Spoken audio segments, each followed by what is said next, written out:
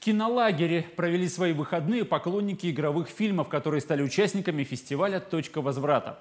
За короткую смену любители сняли шесть кинофильмов, которые будут показаны в рамках фестиваля. Он пройдет в Хабаровске с 11 по 13 октября. С подробностями Александра Теплякова. Нырнуть в реку в сентябре и все ради искусства. Идут съемки игрового кино. В кадре и за кадром не профессионалы, а любители. Все участники кинолагеря «Точка возврата». Лагерь – это попытка освоить профессию кинематографическую э, в экстремальных условиях. Как знаете, когда ребенка выбрасывают на середину бассейна или пруда, и вот выплывет, не выплывет. Вот примерно та же история с кинолагерем. Ты! Ты! Я разный вариант, да? Все. Давай, давай, еще разок. Дым у нас пока есть.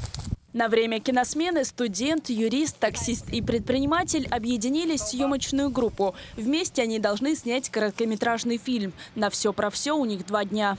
Раньше думал, ну что там сходил в кинотеатр, посмотрел типа фильм. На самом деле за каждым произведением искусства стоит огромная работа, свои техники. Съемки проходили в двух кинолагерях – Хабарском крае и в Приморье. Участники приехали на съемки со всего Дальнего Востока. Наталья Рыжкова живет в Благовещенске. 10 лет проработала инженером-судомехаником. Сейчас компьютерным консультантом, но мечтает создавать кино. Все началось с роликов из семейных фотографий. Позже освоила профессиональную программу для монтажа. Сегодня она уже успела снять собственный фильм, но хочет большего. Была на мастер-классах по кино, и после этого у меня пришла идея снять кино. Как бы опыта нет и практики мало, поэтому вот, э, когда я узнала, что есть этот лагерь, кино, кинолагерь «Точка возврата», я попросилась сюда. В каждом кинолагере три съемочных группы, у всех разный сценарий. Его писали такие же любители, но перед этим они прошли небольшой практический курс. Шесть лучших историй были выбраны для экранизации. Катька, вечно одни проблемы от тебя, понаставишь тут. Этот фильм называется «У реки два берега». По задумке авторов, после исчезновения отца его родная дочь остается со злой мачехой. От отчаяния девушка бросается в речку и вдруг оказывается в будущем. Режиссером этой картины стала 18-летняя студентка из Владивостока. У нас каждый, каждую минуту появляются новые идеи, несмотря на то, что сценарий все-таки есть.